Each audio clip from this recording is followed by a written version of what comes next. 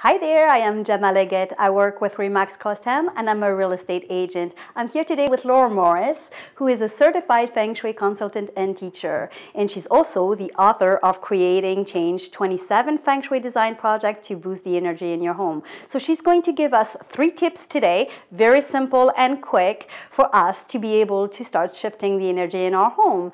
So hi Laura, how are you? Thank you. Thank you for having me. Good, good. So can you please tell us a little bit more about Feng Shui? Yeah. Um, well, it's an ancient practice. It's right. been around for about 4,000 years. Right.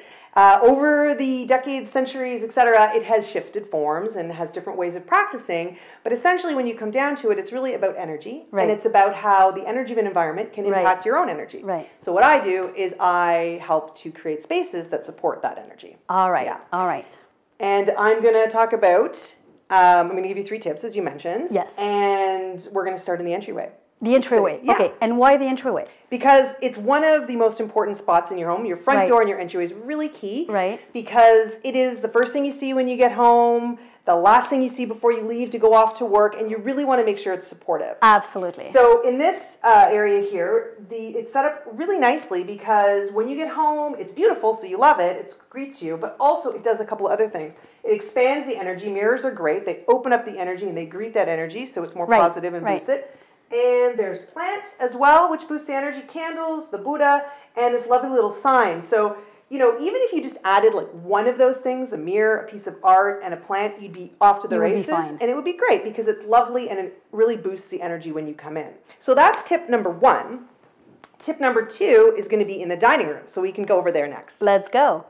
So we're now in the dining room. Tell us the tip number two. Yes, tip number two is really simple. You find your kitchen table or your dining room table or the center of the home and find the center of it and really adding in the color yellow. Right. I know it sounds weird, it sounds different, but these lemons here do the trick.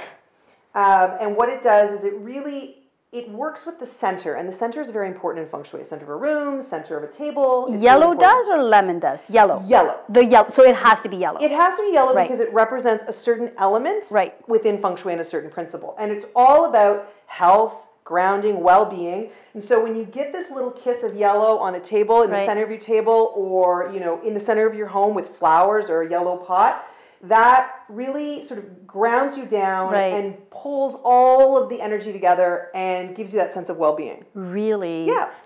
Fantastic. Yeah. Let's go for tip number 3. Perfect. We're now in the kitchen. Tip number 3, what do we need to know? Well, the kitchen's a really important spot in right. feng shui, specifically the stove. So we're here at the stove because we're going to talk about why it's important. Um, it is the center of wealth in the home. So there, it's where you cook all your food. Uh, historically, and the significance is uh, that this is where you spent all the time and money to stoke the fire. Right. So you had to really take care of it and make sure that it was working because if your flame went out or the stove wasn't functioning or your fire wasn't functioning, it would deplete the wealth of the home. So this is right. actually a very, in, very important symbol in feng shui. The stove is directly connected with wealth and prosperity. With wealth. Yep. Wow, that is pretty important. It's pretty important, yeah. So the tip I'm going to give you guys is to clean it. And I know that sounds really boring, but it's like really cleaning your stove, that's it. That would be how to maximize uh, yeah. wealth, to well, clean it. It would, because Amazing. you're taking care of your stove. Because a lot of people, A, first of all, the elements, there might be something broken. It doesn't right. matter if it's gas or ceramic, okay. it does not matter. Okay. Just make sure it's functioning well right. and that it's clean. And when you clean it, I'm going to say use a non toxic cleaner and do it with intention. So in my book, I actually walk you through step by step. And I actually give you a recipe for a great extra boost cleaner. Yes. Uh, and you'll just give it clean with intention, knowing that when you do it, you really want to improve your wealth and your resources, and you're doing it for a reason. Fantastic. Yeah. Thank you so much. So I'm here with Laura Morris.